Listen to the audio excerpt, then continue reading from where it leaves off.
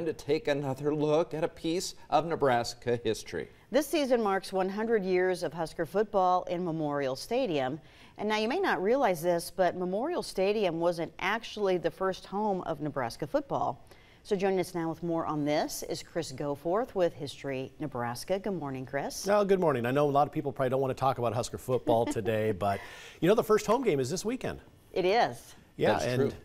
Well, and as you said, uh, Memorial Stadium hasn't always been the uh, the home for Husker football. They started there 100 years ago, but actually we've got to go back a little bit further than that. And our staff members, David uh, David Bristow and Ben Cruz, did some digging into the history of Nebraska football. Of course, it all started in 1889. A group of students pooled their money together to purchase a football and began organizing teams.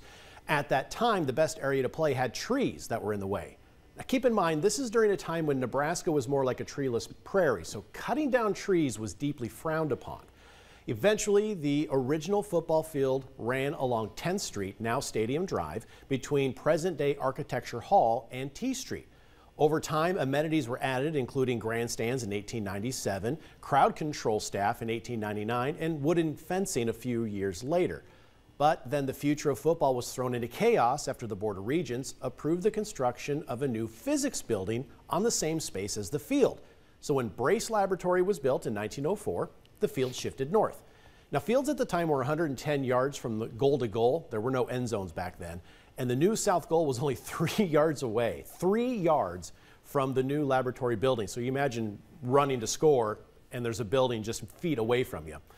Well, in 1906, Richards Hall was built. That forced the football field to move again, this time to a more familiar location just north and east of 10th and T Street.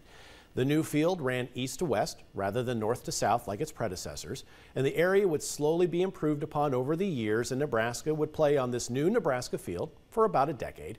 Then, in 1923, that spring, ground was broken on a new football stadium, and Nebraska's permanent football home, rightfully named Memorial Stadium in honor of the soldiers who fought in World War I, opened that fall.